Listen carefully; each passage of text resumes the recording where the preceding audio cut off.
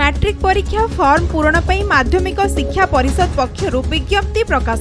সূচনা অনুসারে রেগুলার ও এক্স রেগুলার ছাত্রছাত্রী মানে জানুয়ারি দশ তারিখর বিদ্যালয়ের ফিস পৈঠ করবে করেসপন্ডেন্ট কোর্সর রেগুলার ও এক্স রেগুলার ছাত্রছাত্রী মানে আঞ্চলিক কার্যালয়ের উপসম্পাদক মাধ্যমে দেয় পৈঠ করা ফর্ম পূরণ করে